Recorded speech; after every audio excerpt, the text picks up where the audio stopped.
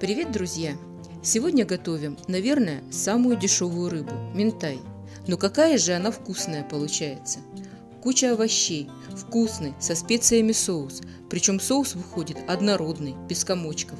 И рыба, пропитанная всей этой вкуснятиной. Язык проглотить можно. Я такую рыбу могу есть, как самостоятельное блюдо. А своим мужчинам на гарнир делаю толченку. А еще хочу сказать, что минтай по этому рецепту в холодном виде такой же вкусный, как и в горячем. Ну а делать всю эту вкуснотищу от силы полчаса. Итак, начнем. Сразу займемся овощами. Для этого рецепта я лук режу полукольцами. Морковь можно потереть на крупной или корейской терке.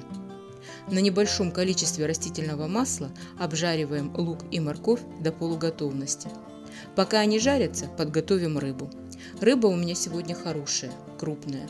Тщательно моем ее, счищаем мелкие чешуйки. Срезаем ножницами у рыбы все плавники и хвостовые части.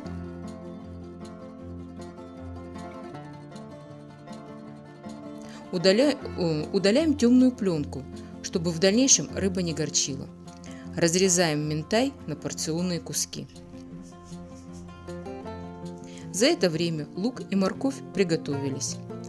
Наливаем в сковороду кипяток и делаем вкусный соус. Для этого добавляем мягкий плавленый сыр. У меня президент.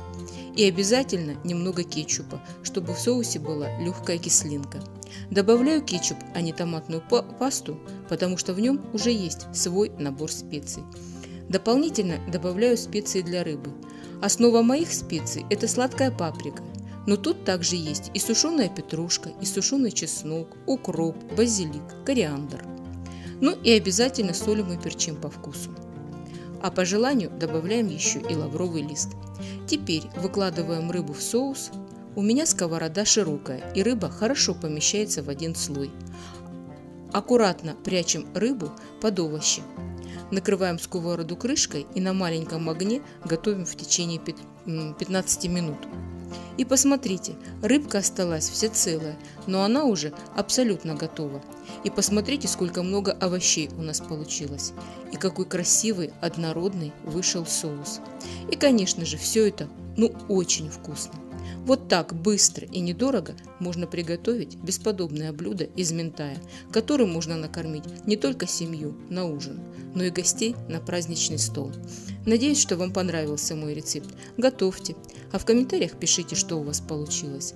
Желаю всем здоровья, удачи и приятного аппетита. Пока-пока!